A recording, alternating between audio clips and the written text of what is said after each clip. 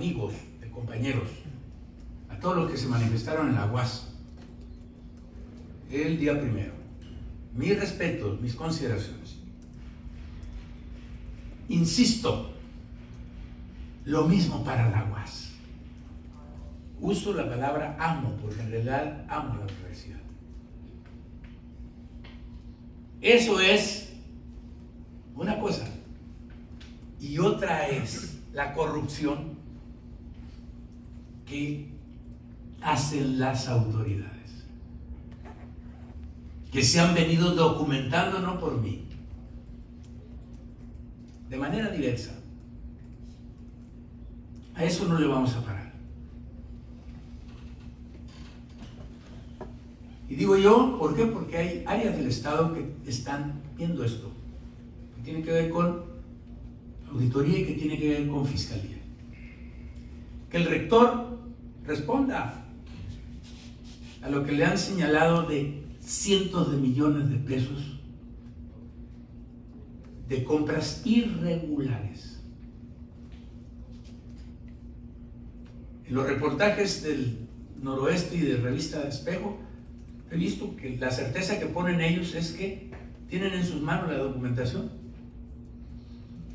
Si hablan que a un, a un empresario le compraron tantos millones, dicen, se lo compraron y aquí están 5 mil este, facturas.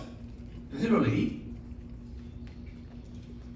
Y eso se llama, este, es una eh, eh, fractura, pues. Sí, esos 5 mil, esos ciento y tantos millones de lo que reportaron para esa red de 123 o algo, nada se compró con licitación, porque eh, parten las compras y eso es delito. Es delito fiscal, por lo tanto es delito federal. Que respondan a eso. Nada de que me están persiguiendo, de que me están haciendo, que no hagan payasadas. Que el rector no conteste con payasadas. Que el rector conteste con certeza. ¿Qué, cómo está manejando la, la universidad el dinero que yo, gobernador, he autorizado para que les den? Porque los gastó en, 2000, en 2022 200 y tantos millones según los últimos dos reportajes. Y yo le di, nosotros le autorizamos lo conseguido 175 de la federación y 275 de mi gobierno. Yo dejé de hacer carreteras, calles, este, eh, otros bienes para la sociedad, agua potable, el drenaje de Mazatlán que está totalmente, lo hubiera podido resolver con los 275 millones de pesos. Nosotros les estamos dando ese dinero. Y si me doy cuenta por los reportajes de la revista Espejo y del Noroeste, que resulta que lo usan para provecho de otra cosa y no de la universidad. Pues, pues entonces yo les digo, ¿a poco no crean ustedes? Pues que me están viendo la cara de tonto. Fíjate que este que nos dé dinero, este que nos dé dinero y nosotros nos encargamos de, hacer las maniobras suficientes y necesarias para que el dinero este, se vaya por el caño de la corrupción. Eso no hay que parar. No es posible eso. Y nada de que soy muy hombre y quiero ir este, a defender a la guasa a la cárcel y que no sé cuándo. No, este no es un problema de hombría. Este es un problema de honradez. Honradez. No se roben el dinero del pueblo. Ese es el tema. Y no manejen ni pongan adelante la autonomía, que la conozco y fui rector. Y compré cosas allá. Y vean todavía mi, estado de cuenta debe estar ahí, mi finanza ahí deben de estar. Entonces, hablo porque me consta. Y me, me mortifica ver esos reportajes y les creo, tanto a Revista Espejo como a Noroeste. Como que es una andanada de medios. No. El problema es que Es que las cosas las tiene que conocer la sociedad. Entonces, aquí el problema es que ya está en duda la honradez de quienes administran el dinero en la UAS. Y les voy a decir una cosa, para tranquilidad, pero de los universitarios, no de los... Es que ya, ya me cayó de la gracia. Este señor que ya ha metido a, este, al apoyo que tenía, ¿eh? Dice, no, van a ver, ahí vienen, no es la única, vienen, las que vengan. Pero la política nuestra va a ser mantenernos en eso. En auditoría, en las eh, fiscalía ya hay denuncias. Pues la fiscalía tiene que hacer su tarea, tiene que investigar. Y mira que ya le han dado muchos elementos en los reportajes. Ya le han, le han dicho por dónde vaya, investigue.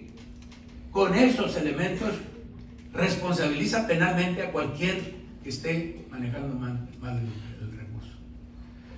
Entonces, mi abrazo solidario, amigo, no les vuelvo a decir, nunca van a dejar, mientras sea yo gobernador, les van a dejar de pagar el aguinaldo. Les voy a apoyar a la universidad para que resuelvan los problemas de los estudiantes y de los maestros y trabajadores. Pero, pero, permítanos, den luz, den transparencia. Porque el dinero que le damos, los 500 millones que les digo, 550, ¿cuántos fueron? Porque son 275 y 271, los 550, pues al rato me van a, si saco otro documental, este, y le agregan otros 100 millones, pues, pues se lo acabaron ahí. No es justo.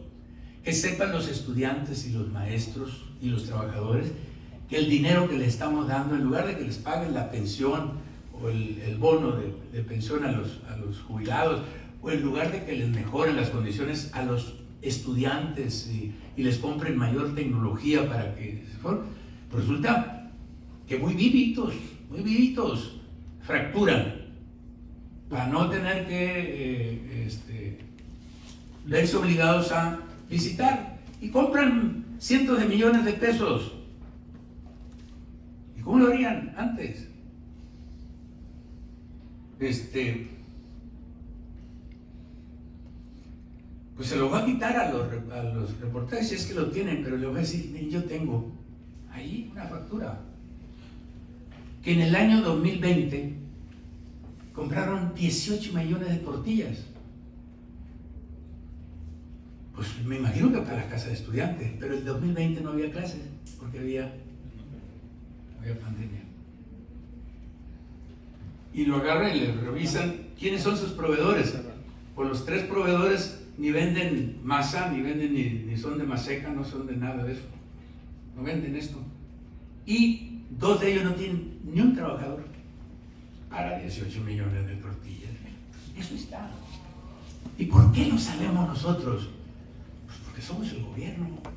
Si yo le pido a ver licenciado eh, Bello, pues usted tiene historia porque ahí se, ahí se registra para el caso del pago de los impuestos.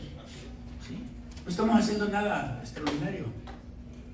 Entonces, ese tipo de cosas, no. Entonces, que no nos quieran. Dar una cara limpia cuando está muy sucia. Y ese del 2020 no le corresponde al actual rector, pero lo del, 2022 que se sacaron en los reportajes, sí, le corresponde. Entonces, que no quiera decir, ah, que me echaron encima, a, ¿cómo se llama esa cosa? Wipe. Wipe. Echaron encima de la Wipe y que también la fiscalía, pues claro. El que es bandido, que se cuide en nuestro caso. Seguimos con Alejandro.